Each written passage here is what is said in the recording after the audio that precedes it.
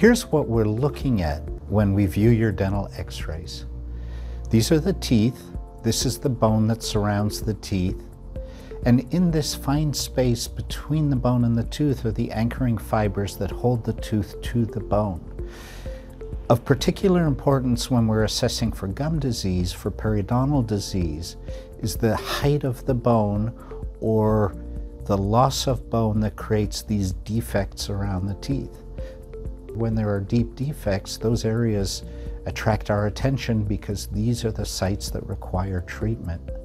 We also look at the width of the gap between the tooth and the bone to determine whether teeth are loose and or whether they are functioning heavily in the bite.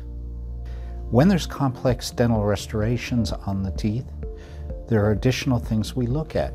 We look to see if the crowns or the fillings fit precisely.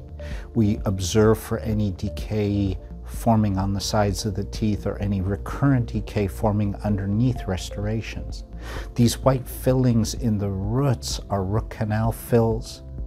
And those are important to observe in that they are placed to heal the ends of the teeth. And when we see areas of vague bone at the end of the teeth, we know that either the tooth requires a root canal treatment or the root canal treatment that's been done is not succeeding. We can see posts in this tooth. We can see vague root canal fill at the end of this tooth. And we can also see the restorations, the integrity, and the fit at the side of the restorations.